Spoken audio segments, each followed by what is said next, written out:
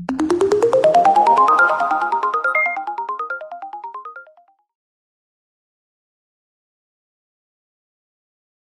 I'm going to give you a quick overview of the CEL Robox. So let's take a closer look at it. As you can see it's a fully enclosed print chamber and you can access the internals by just lifting this viewing uh, door up and then you've got a heated bed and attached to the heated bed is this um, small little wiper that the the nozzles brush over just before they print just so you don't get any loose strands which is really quite cool. And the print head itself is pretty special.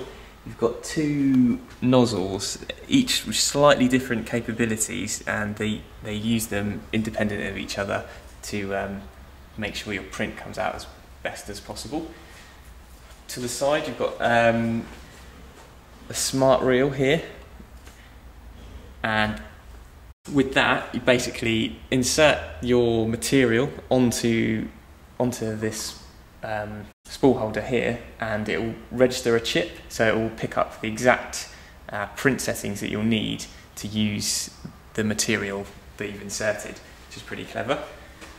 And it's really easy to install as well. And you've got another sort of viewing glass on this side, which is really useful.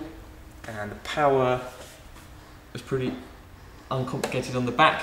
Uh, one switch to turn it on and off, just there. Your power cable goes in there, and then the USB cable goes in here. It just uh, attaches and connects to your computer. And the whole uh, build quality of this uh, printer is really good, and you've got like really nice high quality plastics on this side, and these blue parts in here. Um,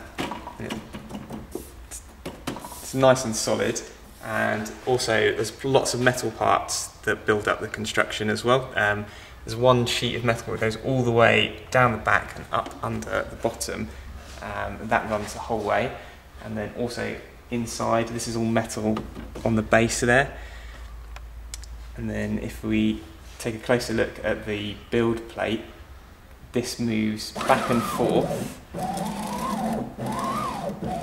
rather than up and down, which you get on a lot of other 3D printers. And if we bring it all the way forwards, you see there's a little trigger here, uh, bring it all the way forward, and that basically just deactivates this lock. Um, so when the printer's printing backwards, back here, the, the lock will latch over, hook onto this um, cover, and mean that you can't get in uh, it's especially useful if you're using this in, in a school environment, uh, but you can disable that feature if you don't if you don't want it to lock. So that's always a bonus as well. Uh, the print head itself, it goes, it moves up and down, and it also side to side. So that's just a brief overview and our first impressions of the CEL Robox. We're going to be doing loads of um, videos of prints, so stay tuned for those. If you enjoyed this video, please like, comment and subscribe. Also, come follow us on Facebook, Twitter, and Instagram. You can find out more about our products and services by visiting dream3d.co.uk.